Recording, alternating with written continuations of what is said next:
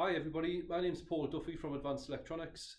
Uh, just a quick video just to give you a, a product demonstration of our, our, new Go single loop control panel. This is effectively our non-networkable solution, uh, single loop control panel which is for use with uh, Apollo, Hochiki and Argus Vega protocol. Uh, so just going to give you a breakdown from receiving the product in the box to fitting it on a, on a wall um, and just identify some unique features with this product. You'll be familiar with the packaging if you've used our MX Pro 5 control panel. We've got the, the typical shoebox design. Uh, you will identify the, the label on the on the side so you can see it says Go 1 Plus. This is a typical product which is our, our new single loop panel which is up to uh, 126 or 240 device limitation depending on your protocol. But you can see you've got the Go 1 or the Go 1 Plus that identifies your, your product. The Go 1 is restricted to 50 devices. The Go 1 Plus is the, the full loop su support. So what we do is obviously we, we open the, the box. You can see we, we cut through the, the tape, shoebox design. And you can see what we've done is we've replaced the plastic packaging, which um, is part of our environmentally friendly um, project that we've got going. Uh, so we can see the we've got now the, the paper packaging and what you, you'll identify is when you're open up the, the product you have a, a single page installation sheet and once I unpack the, the product you lift the, the panel out and then what we have is the actual Go 1 control panel. So you, for those guys who've seen our MX Pro 5 series should be familiar. It's the same menu structure, we've just got a, a new look and feel. So let's just analyze the, the enclosure. So if we look at the, the box, um, you can notice most notable feature is obviously the, the unique locking mechanism. We've got a slide in label and you can see the, the cable entry. Okay, so the cable entry, obviously what you will notice um, from there's no rear entry on the on the back box. Um, but like our MX Pro 5 series, you've got the, the picture frame, the hanging technique. So you've got three mounting positions. So if I open, okay, you've got your crosshead, open the panel door, and what you can see is you can identify your components. So obviously you get a, a spares bag for you, you've got your prefixed battery cables, which you can see. Um, you've got your your door, you've got your earth cable, so it's quite easy to, to disassemble. Uh, we've got some cool little little features, so obviously the, the, the door being easily to, to remove. We've got some hang screws in here, so we can take the screws out. You can see the, the chassis obviously can quite easily be removed, so always be wary.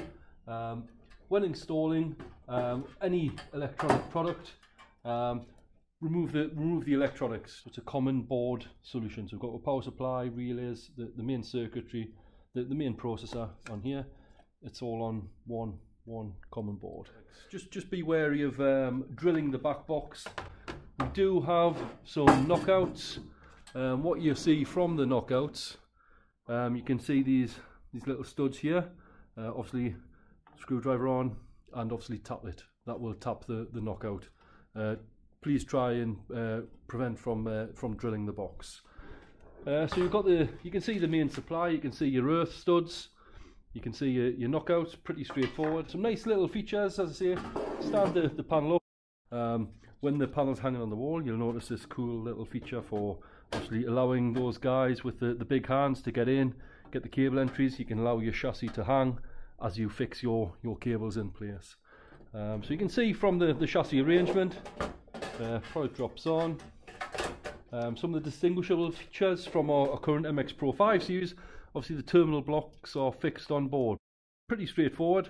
What you will see for the future is our USB port and the Ethernet on board. So watch this space for the, the Ethernet activity that's, that's coming soon.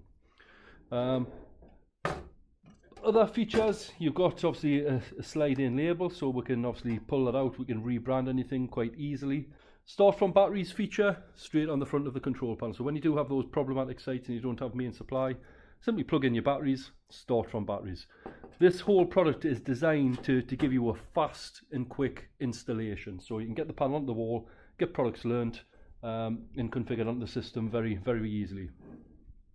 Okay, what we'll do now, uh, we'll connect it to, put it onto the wall, connect a few devices, and we'll see how the, the product works.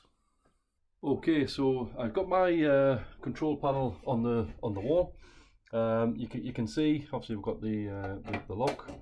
Just spin it out. You see obviously the retaining lock. Kind of drop the the thread. Um, just a basic overview of the of the system. So we have our, our Ethernet on board, um, RJ45. We have our USB or B-type USB cable. This is the port we use for our upload and, and download, which you'll see a bit later on. Um, you, you designated loop, okay, and then we have a dedicated switch input, three onboard relays, and your two sounder circuits, sounder circuit A and B. So from the MX Pro 5, you have got an additional relay on board. So you've got relay 1, which is your common fault relay, relay 2 is your fire relay, and all relays are obviously programmable. A, a reboot option for obviously for a, a, hardware reboot. We have a run in a programming mode for your software updates, your firmware updates for the control panel, as well as our, our memory lock jumper switch. So pretty pretty straightforward. Um, one of the unique features of the, the product, you see we have this start from batteries. So this whole enclosure, the box, as you can see, it's designed to be surface mounted. Um, it can house up to um, two 12 volt 7 ampere hour batteries. It'll be the Powersonic or the Yuasa type. Okay, uh, so we can we can get the, the system up and running. So basically, um, start from batteries. Press your button. Yeah, so your panel will boot up. Obviously, when you the system's running on your your battery backup, you'll see your green power light will flash and obviously you will get a, a fault condition. So happy with that. You can see the, the door can be taken off. It's just held on pretty pretty uniquely. So quick and easy to remove, easy to install. Drop that back in. So you can see obviously we've got a supply fault. You've got the, the, the green power light flashing you can see one zone in fault main supply so I'm just going to initiate the um, the, the main supply into the into the control panel. So I've just actually switched on the on the mains. Uh, you can see the the green power light has went to, to normal, and obviously uh, the the fault LEDs went out. So just go through the the menu structure. So press the menu button, uh, same as the MX Pro 5 series. Uh, we go to loops as an example. Uh, you'll see it pretty pretty fast. So just auto learn. You can see it scan the loop up to 126 devices. Okay, it's found two devices. These are just a couple of sample devices which I've got configured on the system. Um, same same menu structure as MX Pro 5. Exit, same passcode 7654. Okay, back to level 2 menu. See it's normal operation. Just do a quick fire test. Okay, triggering a break glass unit so you can see uh, the response from the from the control panel. So you see zone 1, feller LED, manual call point. What we're going to do now is obviously what we'll do is we'll connect the, the PC. So if I reset the system. So open up the, the control panel. Okay, and I'm going to plug in my PC and transfer the, the data down um, from the control panel down to the PC. You'll notice from your metalwork there's a little indent there. Well, that little indent is obviously for your, your USB port. So we're going to plug our USB port in. See that slot straight in. You can see the, the LEDs active, it's ready to communicate. And now what we're going to do is transfer the data down to the PC.